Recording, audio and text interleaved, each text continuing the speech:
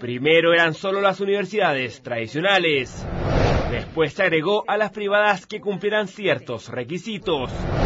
Y ahora esos requisitos se modificaron. Son los distintos pasos que ha dado la gratuidad 2016 desde que fue anunciada por la presidenta el 21 de mayo y que será parte de la ley de presupuesto. Con un mes de plazo, eh, las probabilidades de que tomemos más de las decisiones son muy altas y por eso he pedido eh, que se cambie el, orden, aplazar la gratuidad como concepto, pero poner estos recursos que tenemos ya programados, 450 millones de dólares, en profundizar las ayudas estudiantiles. La gratuidad en la educación superior no es algo que pueda esperar es un anhelo de muchos chilenos que hoy día tienen una parte importante de su presupuesto familiar al pago de los gastos de universidad de sus hijos. Postura del gobierno respaldada por las universidades estatales, más allá de los reiterados cambios que ha sufrido la medida. La gratuidad es un gran, gran, gran aporte social, independientemente de cuál es la realidad nuestra, y por supuesto que lo defendemos. Ahora, lo que no querríamos es que por hacer la gratuidad del 2016 un poco a la carrera le demos una connotación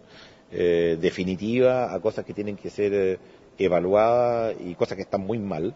¿ah? dejarlas mal para siempre. No puede ser que un enredo finalmente administrativo tal vez termine dificultando a tal punto que una promesa tan importante hecha por la Presidenta de la República el 21 de mayo eh, termine frustrada. Una posición distinta tiene el rector del INACAP, institución que quedó fuera de la gratuidad por estar constituida como una sociedad con fines de lucro. Lo que hemos visto en las últimas semanas es que se han ido cambiando los criterios sucesivamente y hoy día más que certidumbre hay incertidumbre, así que parece del todo recomendable postergar la implementación del 2016 y dejarla para cuando de verdad tengamos un, diseño bien hecho de, todo lo que va a ser la reforma. Coincidencia con lo que plantea el rector de la UCE, quien de paso pone en duda la participación de su universidad en el sistema de gratuidad. Y como está hoy día es imposible porque las incertezas que tiene son muy amplias.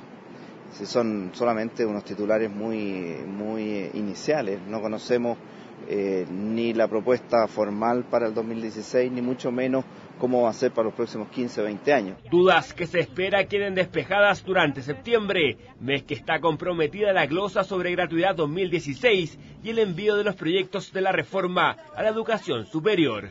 Nicolás Oyarzún, CNN Chile.